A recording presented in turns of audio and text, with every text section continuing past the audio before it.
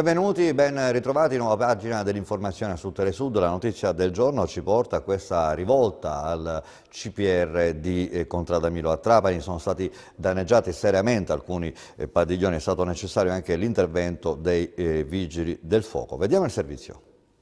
Il malessere serpeggiava da giorni, segnali di insofferenza verso il provvedimento adottato per 29 tunisini che dovevano lasciare il centro di Contradamilo alla periferia di Trapani per far rientro nel loro paese. Ieri la situazione è precipitata. Per impedire il rimpatrio dei loro connazionali, infatti, un gruppo di nordafricani ha dato vita ad una rivolta che ha messo a soqquadro l'immobile. L'allarme è scattato alle 14.20. I responsabili dei disordini hanno accatastato materassi e scatole di cartone, appiccando il fuoco in più punti, momenti di tensione. Le fiamme si sono subito propagate, il fumo ha invaso l'edificio, mettendo in pericolo l'incolumità degli ospiti. La sommossa è stata poi domata dalla polizia. Non ci sono stati feriti, ma il centro per il rimpatrio è stato gravemente danneggiato. Ora indagini per individuare i protagonisti della rivolta che rischiano l'incriminazione per i reati di incendio doloso e danneggiamento. Necessario anche l'intervento dei vigili del fuoco che hanno spento gli incendi. In serata altri tentativi di rivolta sedati questa volta sul nascere. La situazione però incontrata a Milo, dove fino a ieri erano intrattenuti 145 ospiti di nazionalità tunisina, marocchina e egiziana, rimane incandescente. Questa mattina avrebbero preso il via i trasferimenti dei migranti verso altre strutture. I danni provocati dai roghi, infatti, con la dichiarata inagibilità di alcuni padiglioni, avrebbero ridotto di parecchio il numero dei posti disponibili. E questa era la notizia del giorno, tutte le altre tra poco nella prima edizione.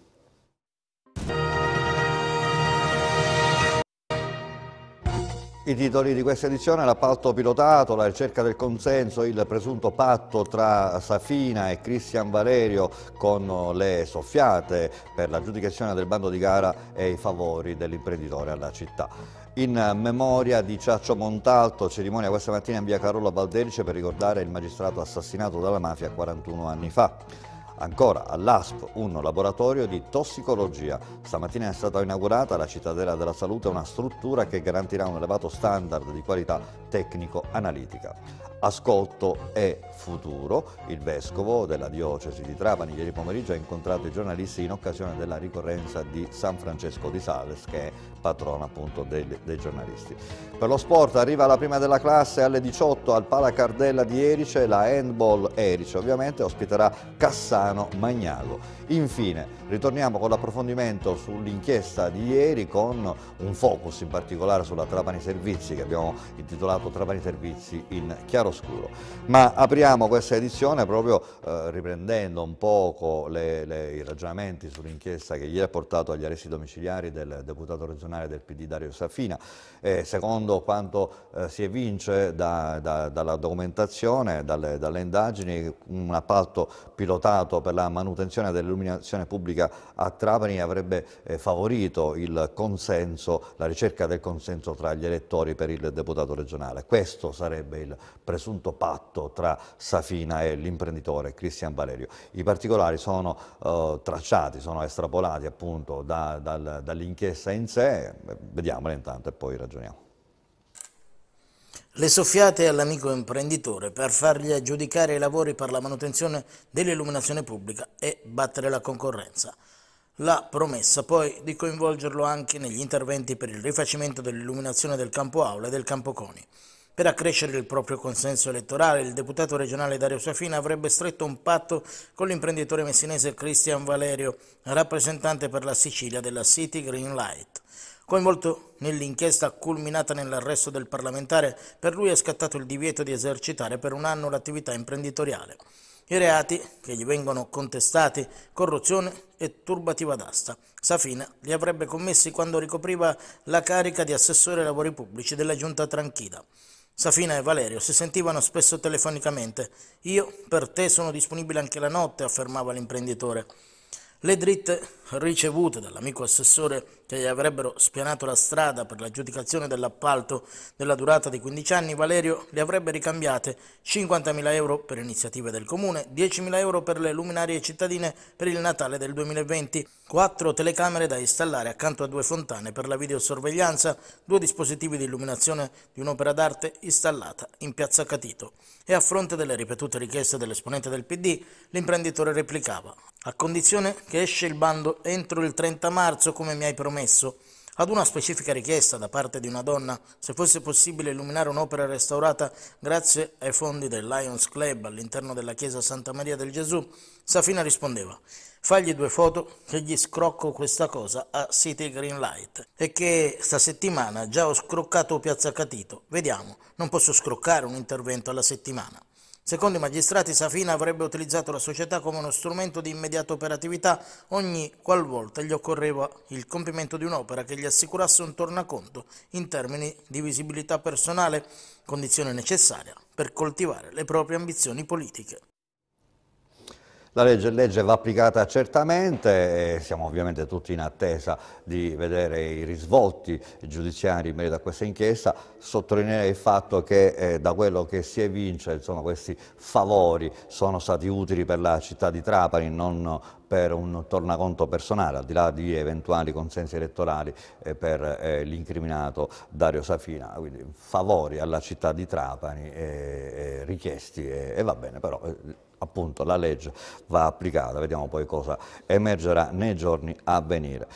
Intanto a proposito di leggi, in questo caso di magistrati eh, uccisi dalla mafia, stamattina a Valderice in via Carollo una cerimonia per ricordare il magistrato Gian Giacomo Ciaccio Montalto assassinato per mano mafiosa il 25 gennaio di 41 anni fa.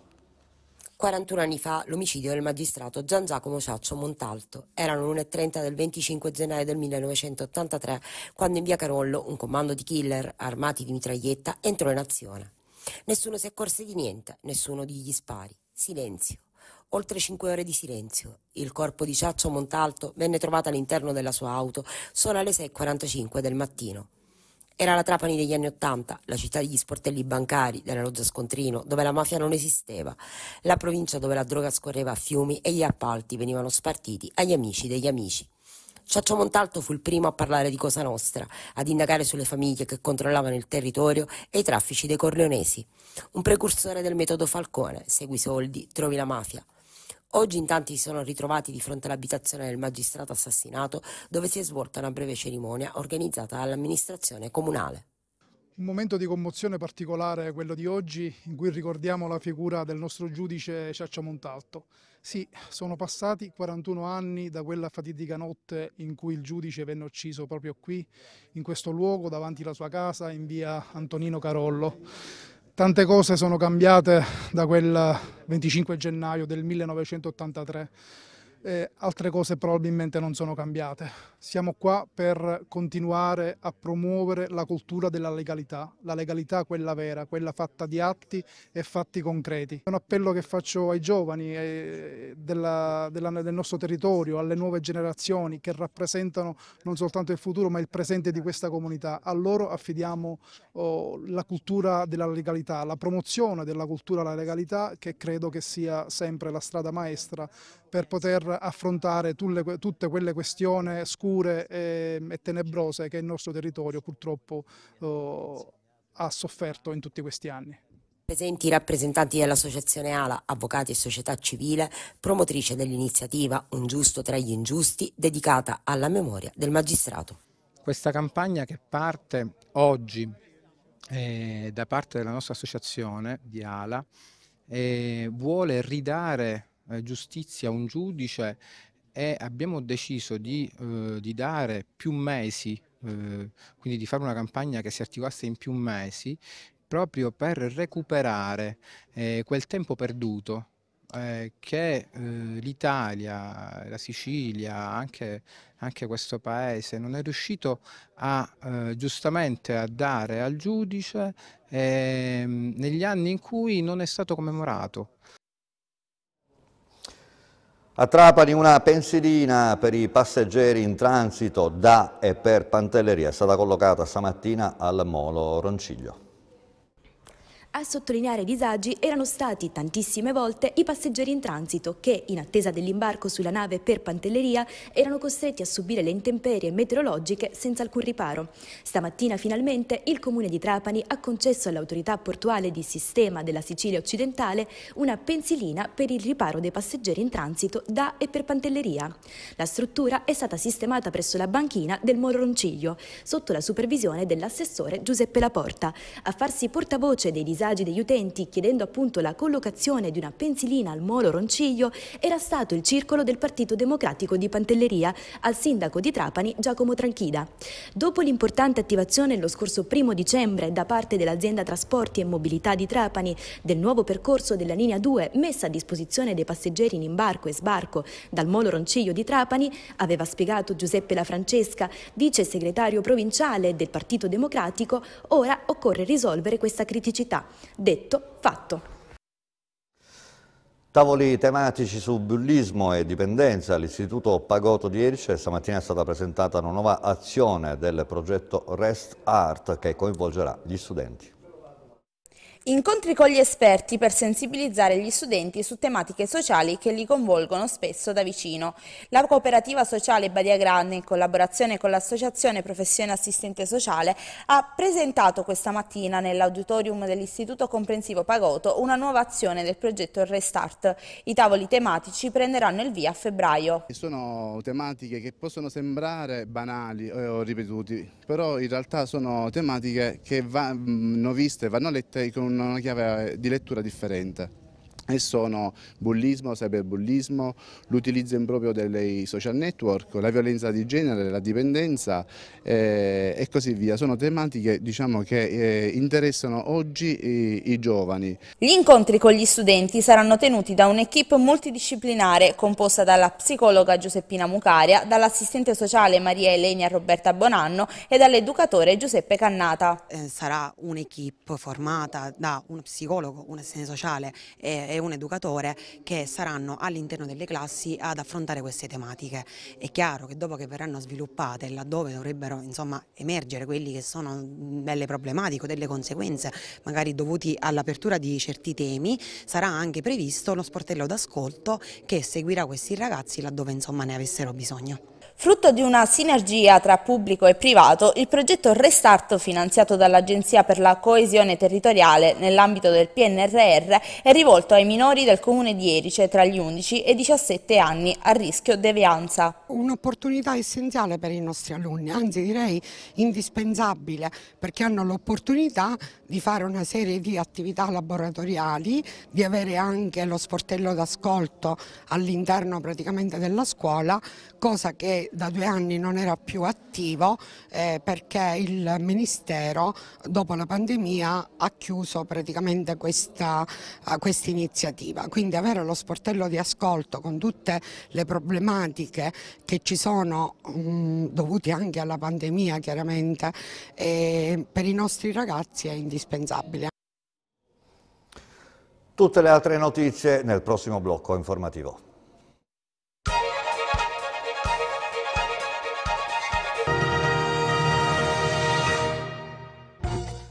Spazio adesso a questo laboratorio di tossicologia all'ASP di Trapani, poi andiamo a vedere l'incontro di ieri pomeriggio con il Vescovo, Monsignor Fragnelli, Vescovo della Diocesi di Trapani, incontro con i giornalisti e poi lo sport con il tanto atteso incontro di oggi pomeriggio, arriva la prima della classe appunto Cassano Magnago contro le arpie della Handball Erice. Stamattina però è stato inaugurato questo laboratorio, nuovo laboratorio di farmacotossicologia aziendale presso la cittadella della salute. Per noi c'era Chiara Conticello. Un nuovo laboratorio di farmacotossicologia aziendale è stato inaugurato questa mattina presso la Cittadella della Salute. All'evento hanno partecipato la responsabile del laboratorio di sanità pubblica Anna Maria Messana e il direttore generale del Dipartimento per le attività sanitarie e osservatorio epidemiologico della regione siciliana Salvatore Requirez. La giornata di oggi consegna alla pubblica utenza servita dall'ASP di Trapani un laboratorio all'avanguardia che sposa, intercettandolo, i bisogni di maggiore attenzione che sono orientati alla gestione della cosiddetta medicina di precisione. Verranno effettuate le analisi cosiddette di confermo di secondo livello per la ricerca di sostanze d'abuso su matrici biologiche, quale sangue ed urina. Queste sono assolutamente essenziali per dare una valenza medico-legale e o tossicologico-forense alle, alle, analisi. Recentemente eh, si è avuta la visita annuale ispettiva eh, da parte degli ispettori Accredia eh, che oltre ad avere confermato ehm, l'accreditamento delle matrici eh, abbiamo anche portato in estensione ulteriori analiti quali metalli pesanti nelle, nelle acque. Quindi anche questo è un tassello eh, che si va ad aggiungere alle analisi tossicologiche eh, che si effettuano nel laboratorio. Il laboratorio di farmacotossicologia aziendale, inoltre, vedrà una sinergia speciale con le forze dell'ordine. Noi facciamo i controlli di secondo livello a tutti coloro i quali vengono, risultano non negativo ai test alcolemici o mh, mm, per uso di sostanze stupefacenti. Questo ci dà la possibilità di supportare le forze dell'ordine in tutta quella che è l'attività di verifica e di controllo che fanno all'interno del territorio o anche la caratterizzazione delle sostanze stupefacenti. È un altro degli elementi che adesso il laboratorio ci permetterà di fare. Quindi capite l'importanza che ha per la cittadinanza ma soprattutto per dare la possibilità alle forze dell'ordine di contrastare il crimine organizzato o gli abusi. In occasione della ricorrenza di San Francesco di Sales, patrono dei giornalisti, il Vescovo ieri di Trapani ha incontrato gli operatori dell'informazione per parlare di ascolto e anche di futuro. Ascolto e futuro è stato questo il tema dell'incontro dei giornalisti organizzato dalla diocesi di Trapani. L'evento si è svolto ieri in occasione della ricorrenza di San Francesco di Sales, patrono dei giornalisti, perché fu il primo a introdurre l'uso di fogli stampati da distribuire nelle case per le comunicazioni di catechesi. Beh, è da tanti anni ormai che il 24 di eh, gennaio noi celebriamo la festa liturgica di San Francesco di Sales che è eh, dichiarato patrono dei giornalisti da cento anni ormai, quindi vogliamo grazie a lui eh, tenere presente eh, l'impegno umano, personale e professionale di tutti i giornalisti del nostro territorio. L'incontro, moderato dal vescovo Fragnelli, si è svolto al terzo piano del Palazzo Vescovile, che da settimane è stato affidato ai giovani di Behive. Tanti gli argomenti affrontati, dall'informazione di qualità all'ascolto, dalla pace al prendersi cura della cosa comune. Ma fondamentalmente eh, Papa Francesco ama dire che eh, tutta eh, l'evoluzione tecnologica del nostro tempo non deve mortificare, non deve far morire il giornalismo di strada, intende dire la possibilità che eh, l'operatore della comunicazione sia realmente dentro il, i processi direi, quotidiani della gente, del popolo. E questo contribuisce sia da un lato a fare professionisti dell'ascolto, questo è il giornalista, dall'altro lato anche apertura di orizzonte, sentieri di futuro per la nostra gente. Un grande successo lo spettacolo Ti racconto una storia, così si intitola, di e con Edoardo Leo. È andato in scena ieri al Cineteatro Harrison di Trapani, un teatro sold out, tutto eh, esaurito per uno degli ospiti più attesi della stagione teatrale firmata da Alessandro Costa. Baricco dice non sei fregato veramente finché hai una buona storia da raccontare e qualcuno a cui raccontarla e questa sera è successo questo, nel senso che in questo grande contenitore di storie che porto, in realtà poi implicitamente racconto la storia d'Italia, racconto la storia della mia generazione, eh, racconto tante cose che hanno un filo conduttore che però che è la mia passione sfrenata per, il, per quelli che le storie le sanno raccontare. Beh, il primo eroe della narrazione è stato mio nonno, ma lo è stato per molti, magari anche per te, eh nel senso che i nonni alcuni avevano una tale quantità di storie epiche da raccontare perché avevano fatto la guerra, perché avevano vissuto un certo tipo di povertà che aveva davvero qualcosa di eroico. Quelli che lo sapevano raccontare avevano una platea, un pubblico immediato che erano i, nipoti. Perché è così? Perché vive dell'improvvisazione con il pubblico, vive di suggestioni, vive di storie. Ho raccontato alcune cose mie personali anche legate a a questa, a questa città, a questa terra, e quando, avendo fatto quest'anno 30 anni di carriera, eh, ogni luogo mi racconta e mi ricorda un pezzetto della mia vita. è tutto, il teatro è ossigeno per me, è, proprio- è veramente tutto. Io penso sia, a parte sia un dovere civile farlo andare in provincia a farlo, e per me è un'esigenza vitale, non riesco a stare senza fare teatro, ma principalmente perché nell'illusione di portare qualcosa al pubblico in realtà assorbo tantissimo, prendo tantissimo per poter poi raccontarmi una storia. Il teatro è fatto di storie, no? Quando una persona ti, ti racconta con quale fatica porta avanti un teatro, il teatro oltre a farlo è resistenza, è veramente resistenza civile. E quindi ho visto nei suoi occhi, spero sinceri, un reale, una reale voglia di portare avanti uno, uno spazio e metterlo a disposizione della città. Cioè avere un luogo dove le persone si incontrano, dove le persone ridono, piangono, litigano, discutono, è uno spazio di aggregazione. Questo è il senso più alto per me di fare la cultura, eh, avere a disposizione degli spazi. Per la programmazione su Telesud invece questa sera alle 20.25 manderemo in onda una nuova puntata di A Casa Mia, il programma con, di cucina condotto da Vittoria Benante e dal maestro Peppe Giuffre. Ospiti in questa puntata la dirigente dell'Istituto Ignazio e Vincenzo Florio Pina Mandina e anche l'avvocato Vincenzo Scontrino. Alle 21 e poi in replica alle 23 invece una nuova puntata di De Politicum eh, sarà incentrata sulla nuova scuola con alcuni dei, dei, dirigenti scolastici di istituti in provincia di Trapani che spiegheranno un po' come cambia appunto non solo il loro istituto con nuovi indirizzi ma soprattutto come sta cambiando un po' la scuola in generale. Vi aspetto alle 21 in diretta, poi in replica alle 23. Tutte le notizie le seguite sul nostro sito ufficiale e tra poco lo sport.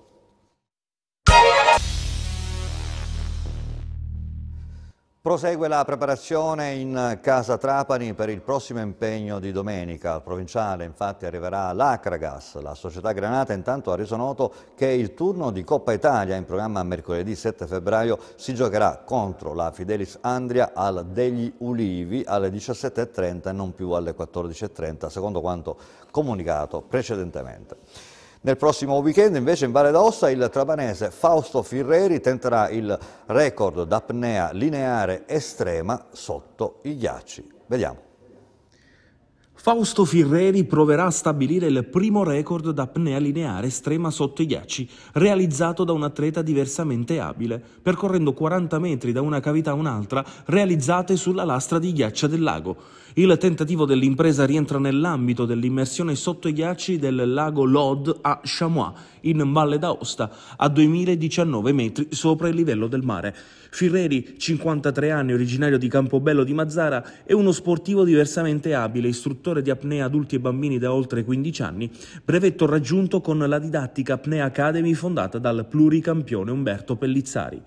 Istruttore di nuoto di primo livello, Finn, Firreri è stato un giocatore di pallamano fino al 1992 quando a causa di un incidente stradale con la sua moto subì l'amputazione della gamba sinistra.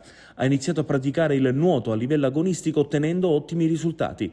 È stato campione di nuoto per disabili nel 99 conquistando l'oro a Sesto San Giovanni. Per due anni consecutivi è arrivato secondo alla traversata dello stretto di Messina. I suoi allenamenti, le uscite in mare sono effettuate con il suo gommone spesso accompagnato accompagnato da suo figlio Alberto. Una delle mete preferite per le uscite ricreative in acque profonde è il tratto di mare antistante l'antica tonnara di Torretta Granitola. Ad accompagnare nelle vesti di coach, safety e madrina di questa impresa ci sarà Mattia Malara, torinese, anche lei da oltre 20 anni, istruttrice di apnea adulti e bambini con la didattica Apnea Academy. Seconda safety insieme a Mattia ci sarà Elena Piano, anche lei istruttrice di apnea adulti e bambini, didattica Apnea Academy e componente dell'Apnea ASD da oltre 10 anni. La Handball Erice questo pomeriggio alle 18 sarà impegnata al Palacardella nel recupero della prima giornata di ritorno. Arriva la prima della classe, cioè Cassano Magnago. Voltare pagina dopo l'eliminazione dalla European Cup per mano della più esperta Granollers. La Handball Erice torna a giocare in campionato dopo più di un mese dal largo successo casalingo contro Lions Sassari. In mezzo la storica conquista della Supercoppa italiana e il doppio confronto in ambito europeo. È tempo di tornare a pensare al campionato però. Oggi alla Pala Cardella alle 18 arriverà la prima in classifica Cassano Magnago che un girone fa si era imposta 29 a 26. Un impegno difficile ma non impossibile e che in casa Erice apre un ciclo di match ravvicinati che culminerà con la partecipazione alla Coppa Italia. Martina Iacovello ai nostri microfoni ha fatto il punto. Sì, oggi non sarà una partita semplice perché comunque è prima in classifica e non lo è per caso. È una bella squadra. Per noi non è mai semplice giocare contro Cassano. Eh, c'è sempre un precedente che che è importante, quindi sarà una partita importante, noi dobbiamo portare i due punti a casa assolutamente e poi sabato ci sarà un'altra un partita eh, importante contro Teramo. E poi ancora, per andare sempre più nello specifico, ci sarà la Coppa Italia, però è meglio pensare sempre step by step. Sì, certo, eh, dobbiamo pensare prima alla partita di oggi, vincere, eh, pensare a sabato, vincere ancora e poi possiamo andare tranquillamente in Coppa Italia.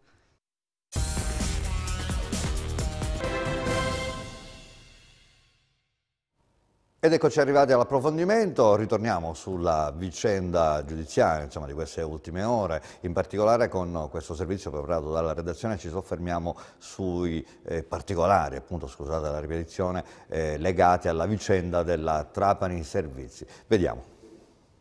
L'ingegnere Carlo Guarnotta doveva diventare a tutti i costi direttore generale della Trapani Servizi. Il suo ruolo di amministratore unico della società infatti era scaduto. Lo volevano come dirigente tecnico al comune, ma lui preferiva la Trapani Servizi. Mi vogliono fortemente là. Io sinceramente tra là e qua preferisco qua. E così è stato. C'era l'accordo tra dirigenti, sostengono gli inquirenti, e c'era anche la benedizione di Dario Safina, deputato regionale, che all'epoca dei dei fatti ricopriva l'incarico di assessore comunale ai lavori pubblici e quanto emerge dalle carte dell'inchiesta dei carabinieri culminata questa mattina nell'arresto del parlamentare del PD e nell'iscrizione nel registro degli indagati dei vertici della società che si occupa della raccolta dei rifiuti. Uno è proprio Carlo Guarnotta, l'altro invece è Giuseppe Ullo, direttore amministrativo della Trapani Servizi. Il primo bando fatto per favorire Carlo Guarnotta era però però troppo palese. Andava pertanto cambiato per non destare sospetti. Ed infatti l'avviso per la selezione di un direttore generale pubblicato il 24 dicembre del 2020 nel sito del comune di Trapani e in quello della Trapani Servizi, quattro giorni dopo veniva revocato. A spiegare il motivo di questa decisione a Carlo Guarnotta, l'avvocato Girolamo Spezia, che nel frattempo era stato nominato nuovo presidente del CDA della Trapani Servizi. Ignorando delle cifre chimici collocate nell'ufficio di Guarnotta, l'avvocato dice per stare tranquilli tutti. Già il sindaco Giacomo Tranchida aveva manifestato le proprie perplessità. Il bando infatti sembrava ritagliato sulla figura professionale di Guarnotta, facendo fuori di fatto gli altri candidati. E lo stesso Girolamo Spezia emerge da una intercettazione a rivelarlo alla componente del CDA Marilena Ciotta. Alla donna il presidente confidava di aver raccolto le preoccupazioni di Giacomo Tranchida. Domenica mi ha chiamato il sindaco perché ha letto il bando del direttore generale. Dice attenzione, non vorrei sia, mi sembra stampato. Gli ho detto io, noi abbiamo trovato questa procedura iniziata ed in effetti, rivedendo il bando, i due interlocutori rilevavano alcuni aspetti che avrebbero favorito Guarnotta. Facendo il calcolo di Carlo, lui è già dentro con 38 punti senza mettere altro. Il bando andava quindi annullato. Nella redazione, come dicono Spezia e Ciò, 2018 erano intervenuti più soggetti e citano in particolare l'ingegnere Rosario Bellofiore e Dario Safina, all'epoca dei fatti assessore comunale ai lavori pubblici. Dice Spezia, ci hanno messo mani tutti, questo Bellofiore, lui, l'altro, poi lo ha visto Dario che ha fatto delle variazioni. Si lamentavano poi del controllo analogo che avrebbe omesso ogni iniziativa di fronte a un bando di gara redatto per favorire Guarnotta. Assai significative le affermazioni di Ciotta. Ci dobbiamo fidare di meno di questo controllo analogo. Ci hanno dato un pacchetto preconfezionato. Poi Ciotta fa una missione. Noi lo avevamo notato veramente. Il 28 dicembre del 2020 il Consiglio di amministrazione annullava il bando di gara. Che era truccato si evince soprattutto da un elemento. Tra i requisiti di ammissione infatti era prevista la comprovata esperienza lavorativa, almeno triennale, con qualifica di direttore generale o amministratore in società a totale partecipazione pubblica. Trapani Servizi è società a partecipazione interamente pubblica, con socio unico il Comune di Trapani. Guarnotta ne è stato consigliere di amministrazione, poi amministratore delegato ed infine amministratore unico, con mandato al novembre del 2020. Viene poi pubblicato un secondo bando, con l'obiettivo però di favorire sempre Guarnotta. L'unica modifica portata in Infatti è stata l'estensione della possibilità di partecipazione a soggetti con esperienze dirigenziali anche nel settore privato, il cui eventuale intervento venne però neutralizzato dalla previsione di un punteggio ingiustificatamente di molto inferiore, 5 punti anziché 8 per ogni anno, il che di fatto avrebbe vanificato la possibilità di vittoria dei candidati provenienti dal privato e a vincere il concorso è stato proprio Carlo Guarnotta.